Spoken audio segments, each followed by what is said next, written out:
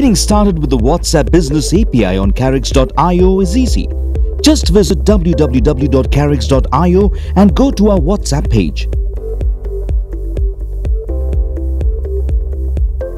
You can use WhatsApp to notify, communicate and also to provide customer support. At Karix.io, we offer flexible pricing. You can select your country to see the price point.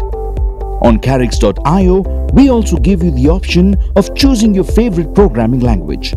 Go ahead and try it for free. Registering is easy. Enter your name, your work email address, password and company name and you are good to get started.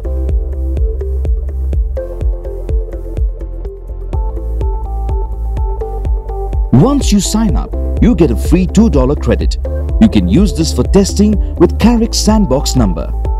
Next, add the Sandbox number listed on the dashboard to your phone.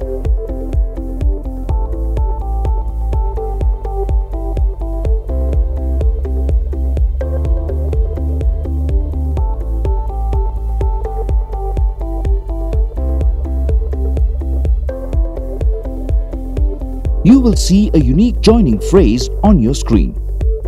Send this joining phrase to the sandbox number and you will get an auto response. Now this number has been added to the sandbox.